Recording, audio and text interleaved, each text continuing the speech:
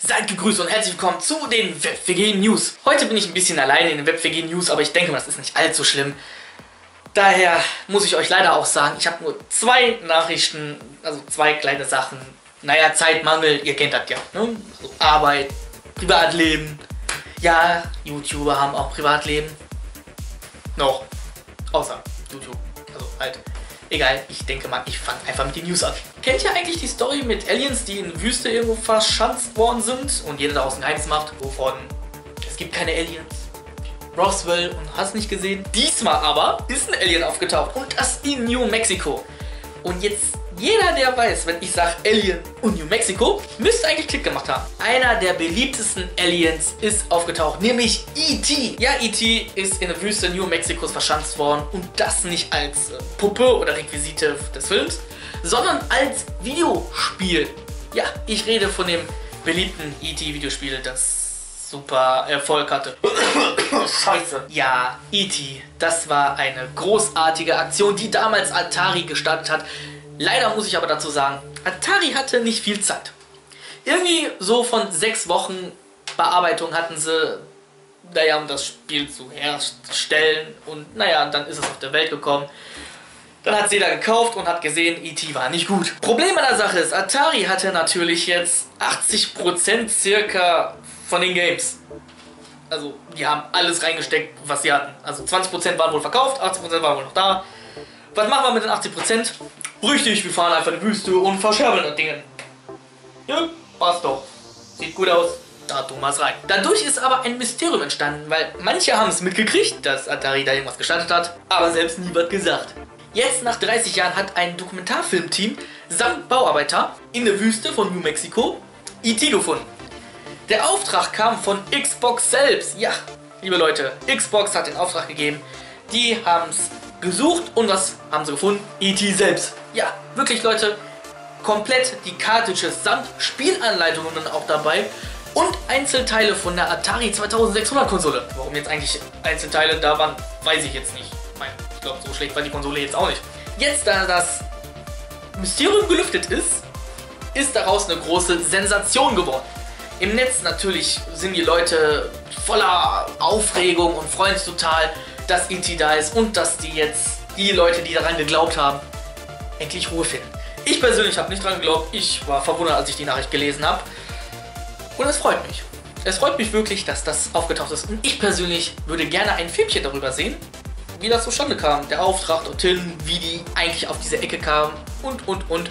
Ich würde mich freuen. Ich hoffe, da kommt irgendwas. Was heißt das eigentlich für den Sammler, der E.T. gerne jetzt holen würde? Denn schließlich ist das Spiel jetzt wieder da. Ist das jetzt teurer? Oder günstiger? Keine Ahnung. Naja, das wird sich wahrscheinlich erst in einer Retro-Börse bemerkbar machen. Guter Übergang übrigens. Ich hab's drauf. Nämlich die Retro-Börse ist jetzt in Oberhausen. Nämlich am 10. Mai startet das Festival der Retro-Nerds und Gaming-Fanatiker. Unter anderem zähle ich auch darunter. Ja, ich oute mich als Nerd. Wir werden natürlich auch da vor Ort sein in der Retro-Börse an dem Samstag am 10. Mai. Und ja, mit der Kamera bewaffnet werde ich natürlich alles aufnehmen, was gibt, weil es gibt eine Menge zu entdecken. Oberhausen ist schon eine geile Ecke.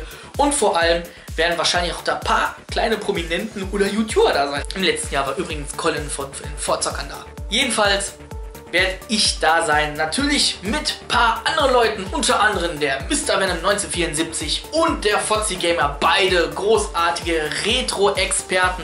Wir drei oder auch vier, denn auch mein Kameramann wird dabei sein, der gute Bolle aus dem Let's Play Together Halo.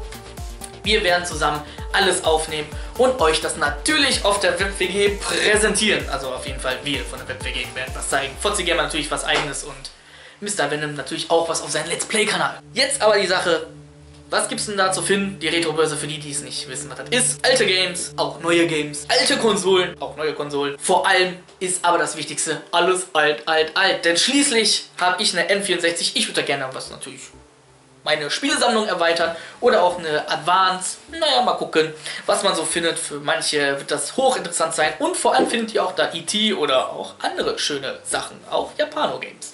Ihr könnt euch freuen. Wichtig aber in der Sache ist, alles was da rumläuft, kreucht und fleucht und was zu sehen gibt, ist auf der WebWG zu finden.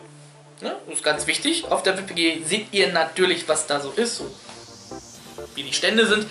Was ich aber kaufe, seht ihr aber auf Alpha 87 LP, denn schließlich habe ich da bisher immer die Videos gezeigt, was ich da für Errungenschaften hatte. Wer jetzt nicht weiß, wie die Retro-Börse wirklich aussieht, der kann ja gerne mal auf der Facebook-Seite von Alpha 87 HP mal gucken. Da habe ich so ein paar Bilder veröffentlicht, was ich im vorletzten Jahr gefunden habe. Und da können wir so ein bisschen stöbern. Und wer Lust hat, kann gerne dahin fahren, Oberhausen. 5 Euro ist der Eintritt.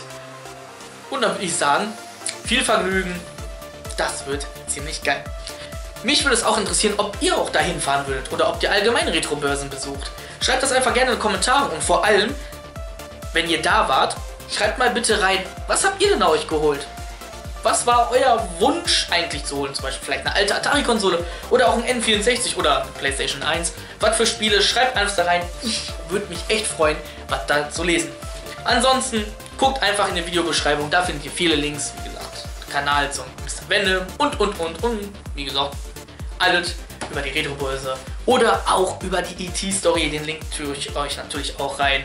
Da könnt ihr alles nachlesen. Ansonsten sieht man sich vielleicht auf der Retrobörse. Und bis zur nächsten Folge zu die WebWG, News, Games oder irgendeinen anderen Quatsch. Ich bin für alles offen. Also, bis dahin. Das war für heute die WebWG News. Wer gerne die letzte Folge der WebWG sehen kann, kann gerne unten klicken oder hier im Fenster auf der Playlist. Da findet ihr die letzten News oder allgemein die kompletten News. Wer gerne Let's Plays sehen möchte, kann gerne da schauen, ne, in den Let's Play-Kanälen von Alpha und Mr. Venom. Ansonsten die, die die WG nicht kennen, gern ein Abo hinterlassen oder auf Facebook, Google, Twitter könnt ihr uns auch pausenlos stalken. Wir sind für alles bereit und offen und nicht vergessen, bald ist die Retrobörse und da sind wir natürlich vor Ort. Also Leute, bis dahin und demnächst hier in die WebWG.